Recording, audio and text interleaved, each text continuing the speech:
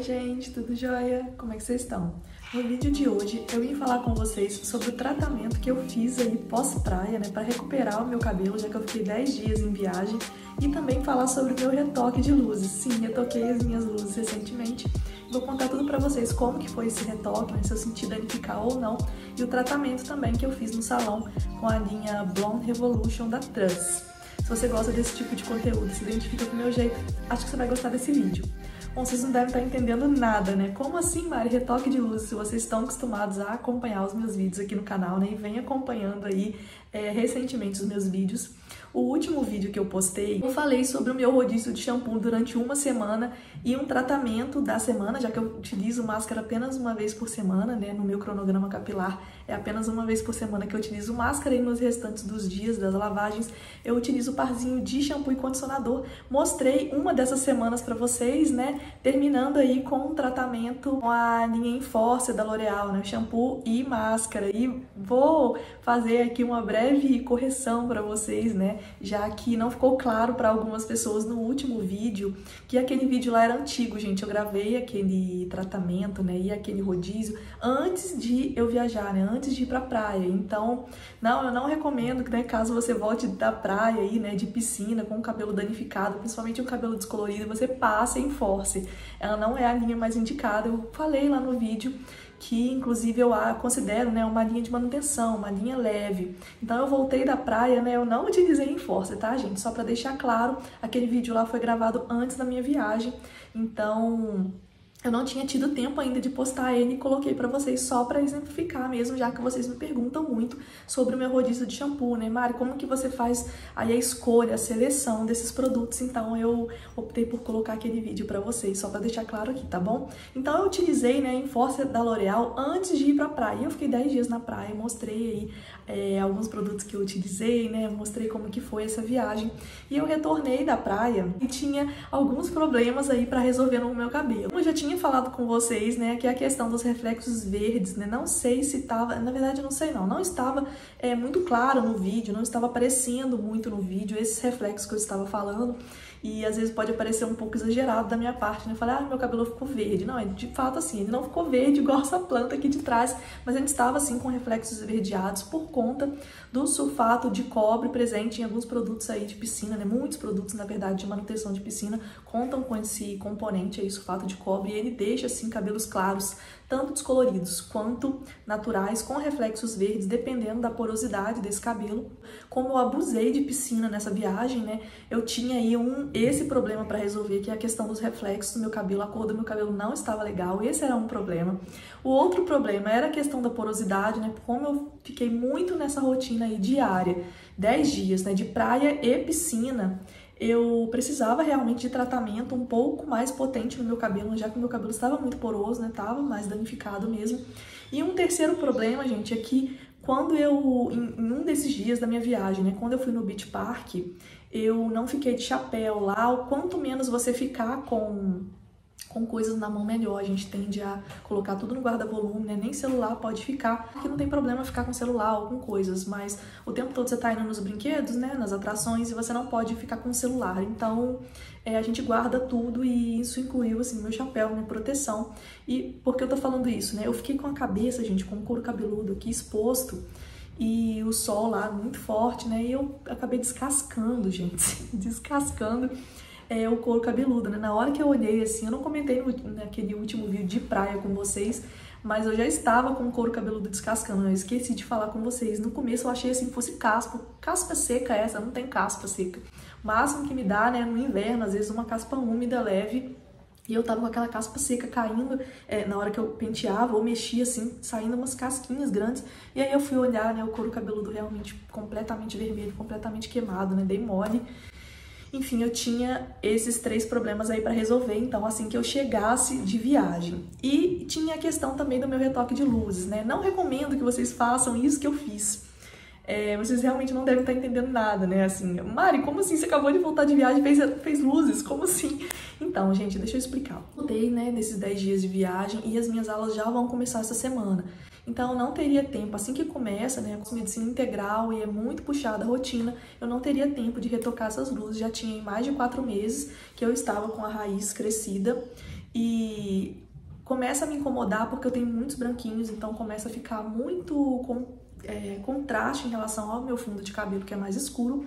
Então eu estava realmente na época de retocar as luzes. Eu não gosto de esperar mais que isso porque não, nem é uma questão estética, e sim uma questão também de é, se, eu, se eu demoro muito para retocar, é, o cabelo tende a manchar mais, então eu não gosto de esperar mais de quatro meses, né? Geralmente eu faço, retoco as minhas luzes aí três vezes ao ano, de quatro em quatro meses, já tinha passado o prazo.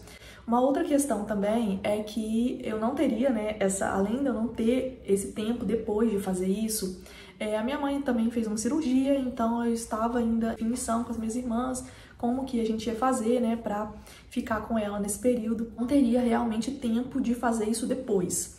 E aí eu cheguei de viagem um dia, fui organizando tudo aqui, né? Eu teria um dia e depois no outro dia era o que eu, era o dia que eu poderia fazer as luzes, vamos dizer assim. Porque aí no dia seguinte a minha mãe já ia fazer essa cirurgia e depois eu já não ia conseguir e aí já ia voltar as minhas aulas. Então eu entrei em contato né, com meu cabeleireiro e falei: você tem vaga nesse dia, né? Eu preciso nesse dia. E não, tenho. Aí ele conseguiu lá é, me atender. E eu falei, ah, vai ter que ser esse dia mesmo. Só que aí eu tinha um dia pra tratar, né, pra tratar o meu cabelo, resolver esses problemas que eu tinha falado com vocês da praia, deixar ele, né, hábil, vamos dizer assim, né, deixar ele preparado para receber o retoque de luzes no outro dia. Então, assim, não recomendo que vocês façam isso quando você... O ideal aí, né, eu voltando é, de praia, você voltando de viagem, é, ou de uma rotina ali que você é, agrediu um pouco o cabelo, né, forçou ele um pouco mais, seja praia, seja piscina, seja às vezes uma viagem no exterior também, na, na qual o cabelo está sujeito a uma água diferente, né, que pode haver ali algum acúmulo de metais e pode deixar o cabelo sujeito a um processo de quebra mais acentuado. Recomendo que você trate seu cabelo primeiro antes de colocar química, não faça como eu fiz. Eu arrisquei muito. Eu achei, depois eu fiquei pensando que eu arrisquei muito. O ideal seria eu esperar umas, mais, mais ou menos umas duas semanas, tratar esse cabelo para depois eu colocasse o fizesse o retoque de luz, né, colocasse química nele. Mas enfim, eu não fiz isso, eu não tinha tempo para fazer isso, eu realmente não ia conseguir depois retocar essas luzes porque eu preciso de pelo menos meio período, né? Um retoque de luz ele demora muito. Geralmente é um dia inteiro que eu fico na função, ou no mínimo meio período, mas não é meio período, porque até você chegar, até se você se planejar e depois é, é, ir embora, se deslocar até casa, então teria que tirar assim, um dia inteiro para isso e eu não ia ter esse dia. Seria naquele dia mesmo que eu marquei. E aí eu tinha um dia, né, antes, é, eu cheguei de viagem, eu teria um dia para tratar, é, resolver esses problemas da praia e é, preparar o meu cabelo para que no dia seguinte eu fizesse a descoloração. E aí eu vou mostrar alguns produtos para vocês, como que eu fiz aí para resolver esses probleminhas que eu tinha, que eram a descamação no couro cabeludo, eu precisava fazer uma esfoliação, alguma coisa para tirar esse resquício, né, de pele, né, de tecido morto que estava ali acumulado no couro cabeludo, né, que estava realmente soltando. Tinha a questão da porosidade no meu cabelo, né? precisava realmente um tratamento mais potente e esse tratamento ele precisava também contemplar uma proteção aí para que eu recebesse as luzes no dia seguinte. E tinha também a questão dos reflexos, da cor, né? Que a cor não estava legal e eu não queria ir daquele, jeito, daquele jeito pro salão, que isso também poderia interferir na abertura de cor. Então, o que, que eu usei, gente? Como shampoo, eu optei por utilizar o Metal Detox da L'Oreal, né? Que é um shampoo, não é um shampoo quelante comum, já fiz resenha dele específica aqui no canal. É um shampoo com tecnologia patenteada pela L'Oreal, gosto muito dele, é um shampoo muito gentil, inclusive recomendado aí tanto pro pré-química quanto pro pós-química. Então, eu eu achei que seria uma boa utilizar ele tanto para corrigir os reflexos esverdeados por conta do sulfato de cobre, quanto também para preparar ele para a descoloração. Só que é um shampoo muito cremoso, ele não tem sulfato na composição e ele parece um condicionador de tão cremoso, é aquela espuma que não dá vontade de enxaguar. E eu precisava de um shampoo um pouco mais limpante para essa raiz, né, para esfoliar essa raiz. Então optei também por utilizar o esfoliante Scalp Spa da Keracis, que é um esfoliante muito bom, né, de couro cabeludo. Tem uma delícia, né, ele dá um geladinho no, no cabelo, os grãozinhos eles são bem... Também já fiz resenha específica no canal aqui, mas só para mostrar para vocês, os grãozinhos eles são bem densos, como se fosse açúcar cristal, e na hora que entra em contato com o cabelo, né, ele faz uma leve espuma de shampoo e esses grãozinhos se dissolvem. Então você pode ficar tranquilo, assim, que não fica aqueles granulados depois no cabelo, né, soltando ali no travesseiro, na fronha. É, eu lembro que há uns anos atrás eu usava um esfoliante de raiz da Natura e ele ficava depois os grãozinhos, né? os grãozinhos não se dissolviam. Não é o caso desse esfoliante aqui da Keracis, por isso que eu gosto muito dele. Então, eu, ele também faz uma limpeza muito boa de couro cabeludo. Eu acho que seria uma boa aí para remover qualquer resquício de produto que tivesse ficado, né, porventura ali na praia e também esse resquício aí de células mortas. Então, eu vim com ele numa primeira demão, utilizei ele, fiz bastante massagem e deu super certo, porque depois parou a descamação, né, não descamou mais, ele conseguiu remover de fato toda aquela é, pele morta que tava ali por conta da, dessa descamação. Em seguida, aí eu sim eu vim com o shampoo cremoso, né, é, puxando aí para todo o comprimento, ó, ó, muito, muito denso mesmo, super cheiroso, um cheiro de mato, de fresco assim, mas nada que incomode, e é uma espuma realmente muito densa, um shampoo de muita tecnologia, que eu guardo realmente para esses momentos assim mais críticos. Então eu utilizei uma demão do Scalp Spa, em seguida utilizei uma, uma demão do Metal Detox. E como meu cabelo estava com reflexos esverdeado, dessa vez eu fiz um pouquinho diferente. Deixei pausa nesse shampoo aqui do Metal Detox, deixei ele agir bastante no cabelo.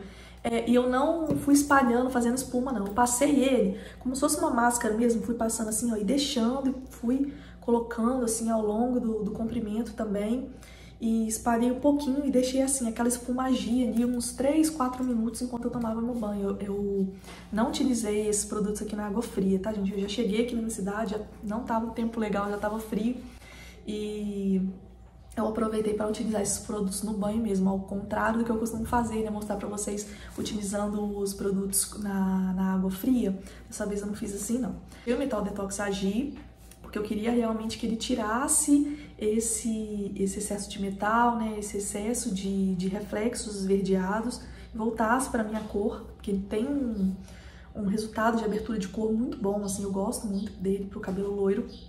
E é, deu super certo a minha ideia. Assim que eu que eu tirei ele do cabelo, meu cabelo já estava muito macio, já tinha resolvido bastante a questão da porosidade, ainda sem utilizar tratamento nenhum né, em termos de máscara. E eu já tinha visto também com o cabelo molhado que o cabelo tava assim com um. O cabelo tava assim com uma cor diferente, ele tava um pouco mais aberto. Ali eu já tinha mais ou menos percebido que provavelmente já tinha resolvido a questão dos reflexos. Mas isso só dá pra ver mesmo, né, depois que o cabelo secasse, mas eu já fiquei é, despreocupada porque eu deixei ele agir bastante tempo no cabelo. Ah, gente, uma coisa que eu esqueci de falar com vocês também. Assim que eu cheguei de viagem, antes de fazer essa lavagem, eu já vim direto utilizando o óleo Blond Absoluto da Kerastase, né, o Real Secret Extreme. Eu lembro que eu cheguei assim por volta de meia-noite em casa, assim, e antes de dormir eu fiz uma meditação noturna com ele. Porque eu sabia que o meu cabelo estava muito poroso, é um óleo que eu não costumo utilizar com a minha raiz crescida. Só que eu quis fazer um tratamento só com ele, porque depois eu sabia que eu ia lavar e utilizar esses produtos e no meu pré-luz, né, antes de ir pro salão, eu não costumo usar óleo no meu cabelo, não costumo usar leave-in, nada. Eu gosto de ir com o cabelo um pouco mais limpo, né, porque eu já percebi que isso interfere também na abertura de cor e o meu cabeleireiro também já tinha falado isso, que quando eu utilizo produtos assim muito selantes, ou óleos mais potentes como esse aqui da Kerastase, né, o cabelo ele fica mais selado, mais encebado e acaba dificultando aí nessa abertura de cor. Então eu sabia que eu não ia poder entrar com óleos da Kerastase antes de ir para o salão. Por conta disso, eu resolvi utilizar bastante dele antes de dormir. Então, cheguei de viagem, utilizei bastante ele, fiz uma escovação com essa escova aqui da Tanga Cheese, né? até porque a minha raiz estava tava descamando e ela é muito boa para isso, porque ela faz como se fosse uma massagem mesmo de couro cabeludo, né? Então, fui passando ela assim, espalhando óleo, melequei meu cabelo de óleo mesmo, fui dormir com o cabelo de óleo, no outro dia meu cabelo estava emplastado, porque esse óleo é realmente muito pesado, eu opto por utilizar ele mais nesses momentos assim de pós-descoloração. E em seguida eu fiz essa, essa lavagem que eu falei pra vocês, nessas etapas. Fui lavar o meu cabelo com o Scalp Spa, depois o Metal Detox. Como tratamento, eu utilizei a máscara Extreme da Redken, né, uma queridinha minha aí, porque eu sei que me entrega um resultado de reconstrução sem deixar rígido e eu sei que resolveria tanto a questão da porosidade quanto é, prepararia o meu cabelo também para uma descoloração, de que essa descoloração fosse mais agressiva. Então, eu vim com a Red King Extreme, deixei uma pausa maior, 5 minutos no meu cabelo, enxaguei, meu cabelo secou totalmente diferente do que estava lá na praia, né? Já estava assim muito recuperado, não estava também com aqueles reflexos esverdeados, e eu senti que eu poderia fazer luzes, né, despreocupada, vamos dizer assim, que meu cabelo não ia danificar. Mas assim, é sempre um risco, né? Eu fui no outro dia pro salão, então não passei óleo, nem vinho, nada, cheguei lá no salão e fui fazer as minhas luzes. Eu conversei com meu cabeleireiro, gente, sobre as luzes agora. E a gente optou em conjunto, né? Na verdade, eu sugeri para ele, eu não sei, eu não sabia se ele ia é, topar fazer assim, porque muitos cabeleireiros não topam. Mas ele, como sempre, um amor, assim, falou, não, com seu cabelo, né, quanto menos colorir, melhor, então vamos fazer desse jeito, assim, eu sugeri para ele que ele retocasse só aqui no topo, gente, só onde estava realmente crescido, então ele fez só a coroa é, só essa parte aqui do meu cabelo, né? O restante ele não mexeu. Geralmente, faço ele todo uma vez por ano e nas outras vezes eu faço aqui, do jeito que ele fez, e faço a nuca também. Só que dessa vez eu pedi para ele, né? Perguntei para ele, na verdade, a opinião dele. Falei assim, você acha que vai ficar ruim se eu não fizer a nuca? Porque eu queria é, que o meu cabelo, tá, eu tô cheia de baby hair, expliquei pra ele que eu tive uma queda, um processo de queda acentuado, tô cheia de baby hair, e não queria comprometer a saúde desses fiozinhos aqui que estavam nascendo, principalmente aqui atrás. Em cima não tem como, né? Eu teria que realmente disfarçar os branquinhos, mas atrás, assim, quase não aparece. E, e eu não me importo, assim, quando, quando eu prendo, né? Tem gente que fala assim, ah, seu cabelo tá duas cores. gente, não, não me incomoda. Então, assim, mesmo que eu prendo, assim, o meu cabelo por baixo, se vocês forem ver, ele tá preto. Ele tá bem escuro. E eu não quis fazer a nuca dessa vez. E ele falou assim, não, tudo bem, tudo bem, por mim, tudo bem, não vamos fazer mesmo não. É, é, você tá certo, preserva. Na próxima vez, né, se você quiser fazer, por enquanto eu acho que não vai dar diferença, ele falou. É, porque você deixa o seu cabelo solto e quando você prende, eu costumo fazer assim do jeito que tá aqui, ó, um, um rabinho baixo. Então não aparece realmente. Até vou arrumar um lacinho aqui que tá saindo não aparece realmente é, a parte escura, no máximo isso aqui. Quando ele começa a crescer muito, aí vai começar a destacar mais, e aí eu vou e faço, e assim que ele sugeriu, né?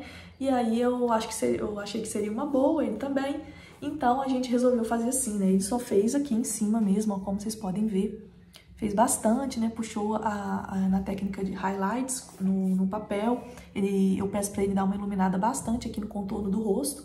E à medida que vai crescendo, né? Não dá aquele é, contraste tão grande. Na verdade, dá o contraste, mas não fica algo feio, nada. Eu costumo gostar assim. Aqui embaixo ele realmente é, não mexeu, nem atrás do cabelo e nem embaixo.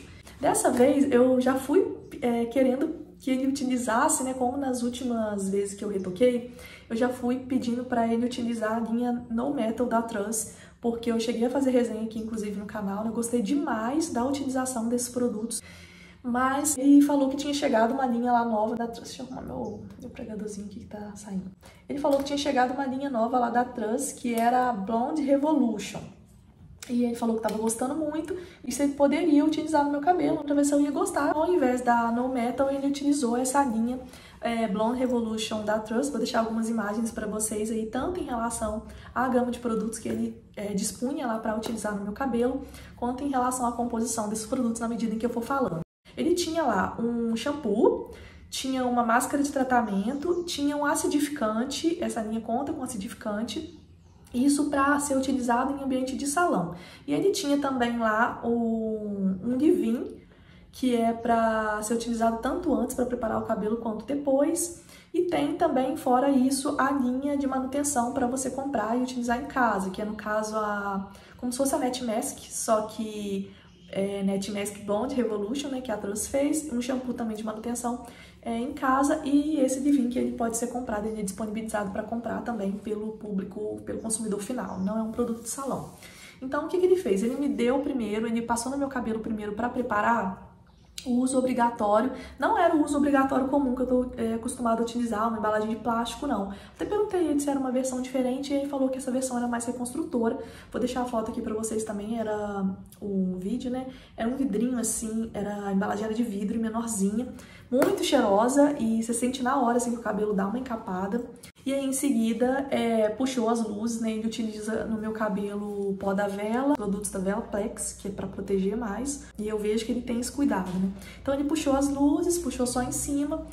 E aí, depois, ele fez a lavagem com o shampoo da Trans, utilizou o acidificante, utilizou o tratamento e finalizou com o Nivin também da Trans. Ele também utilizou lá matizar o cabelo, sempre faz uma misturinha lá de tintura Eu vi que ele utilizou as tinturas da Trans também e eu não lembro o tom, gente, mas é algo eu não sei se ele usa 10.8, ele mistura dois tons, é 10,89. Vocês me perguntam muito, da próxima vez eu vou perguntar aí pra falar pra vocês. Mas eu acho que é 10,89 com 9.1, alguma coisa assim, o tom. Eu falo com ele que eu não gosto de um tom muito branco, prefiro um tom mais amarelado, mas também não amarelo. Um tom mais champanhe, um tom mais manteiga, assim. E aí ele deixa nesse tom assim, ó, que eu gosto muito, que à medida que meus branquinhos vão crescendo, né, é, nem dá pra perceber, quem conversa comigo assim de pertinho, não dá pra perceber que que aquilo ali é branquinho, né? Fica bem misturado assim com o meu cabelo. E conforme eu não gosto do meu cabelo assim quando acabei de fazer luz, né? Eu gosto conforme eu vou lavando, vai misturando ali com meu, o fundo do meu cabelo mais escuro, eu acho que fica mais bonito. Mas eu não levei os meus produtos, geralmente eu gosto de, é, gosto de levar, né? O Cica Plasma, gosto de utilizar, utilizar também esse Cica Extreme, gosto de levar o Serum Therapist, mas eu não levei, eu saí correndo na correria assim, não levei nada, mas é, foi super tranquilo, né? Ele passou esses produtos da Trans, só batendo no secador, ele me respeita, me, me escuta muito. Então eu falei com ele, não precisa puxar as coisas, ele até já sabe, né? Não, não, você não quer, né, que puxa nada, você não quer que finaliza. Eu, não, não, só bate um secador, sai com ele mais ou menos úmido mesmo, ele vai secando natural, não tenho nenhum compromisso, nada hoje não. Por enquanto, o que eu percebi? O meu cabelo não fragilizou, mas é, nunca se sabe, né? A gente só vai ver realmente nessa primeira lavagem, ainda mais que eu abusei, né? Meu cabelo não estava completamente recuperado, ele precisava de tratamento aí depois da praia e eu já fui fazendo a descoloração direto. Embora não tenha descolorido ele todo, acaba que é essa tintura, né, pra é, igualar a cor, acaba que vai no, no cabelo inteiro. Aqui nas pontinhas eu não tô percebendo nenhum tipo assim de dano, nem nada, mas aqui, né, é, ele tá, tá soltinho, mas assim, é, pode ser que na hora que eu lavo ele fique um pouco mais fragilizado, então eu vou é, realmente na próxima lavagem tomar um cuidado maior. Eu tô em dúvida sobre o que utilizar, inclusive me deem opinião, eu gosto muito de ouvir a opinião de vocês. Se eu venho com o shampoo Metal Detox de novo, ou se eu vou com o Extreme da Red, que em termos de shampoo, e em questão de tratamento, se eu vou no, no, básico, né, no certo aí, que eu sempre utilizo Capro, acidificante, mais a máscara Extreme da Redken de novo. Ou ainda se eu utilizo, né, esse aqui eu já tô doido, tô devendo resenha pra vocês, mas que eu tava esperando, gente, retocar as minhas luzes é, para utilizar o Sebastian No Break, né? Porque ele é um acidificante. Muita gente acha que ele é um livin comum, mas não, ele é um livin. Pode ser utilizado como livin, mas o forte dele é um tratamento acidificante, gente. Isso aqui é um tratamento acidificante. Vou fazer resenha completa para vocês. Não garanto se eu vou utilizar na próxima lavagem, ainda estou em dúvida né, se nessa é, primeira lavagem e pós-descoloração, ou se ao longo aí da semana, ao longo dos tratamentos pós-descoloração, que eu vou utilizar aqui nesse pós-química, com certeza eu vou. Em relação aos produtos que o meu cabeleireiro, né, que o salão utilizou lá no meu cabelo, essa linha Blonde Revolution da se eu gostei ou não. Gente, eu gostei, só que eu achei assim uma linha muito pesadinha, achei que meu cabelo, é, que é muito fininho, é, não sei, deu uma pesada assim na minha raiz, sabe? Eu tô sentindo que a minha raiz tá precisando de uma higienização maior e isso é até um, um certo problema, porque na primeira lavagem pós-luzes a gente tende a utilizar shampoos mais cremosos, mais densos, só que eu tô sentindo que meu cabelo tá precisando de uma higienização maior de, de cara.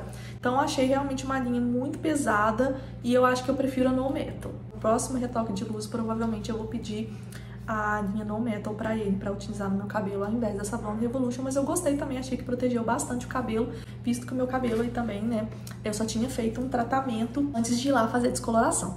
Bom, é isso, espero mostrar pra vocês nos próximos vídeos aí, né, os tratamentos que eu vou utilizar aqui no meu cabelo. Ah, gente, eu acabei de comprar também o Soan Acid Gloss da linha Chroma Absoluta Kerastase, né? Então também essa é uma opção aí para utilizar nesse pós-química. E falem se vocês querem é, resenha e querem que eu mostre a utilização dele num cabelo é, recém-descolorido, eu já tinha testado outros produtos da linha Chroma Absoluta Kerastase e considero aí uma das melhores linhas da Kerastase, né? principalmente para quem está com cabelo recém-descolorido ou recém-tingido. Mas o som, o acidificante da Kerastase, dessa linha, eu nunca experimentei, então estou bem curiosa em relação a ele. Espero mostrar aqui em breve para vocês. Bom, se vocês tiverem alguma dúvida, vocês podem escrever aqui nos comentários que, na medida do possível, eu respondo todo mundo e vou ter o maior prazer de interagir com vocês. Se você gostou desse vídeo ou se eu te ajudei de alguma forma, deixe seu like. Tchau!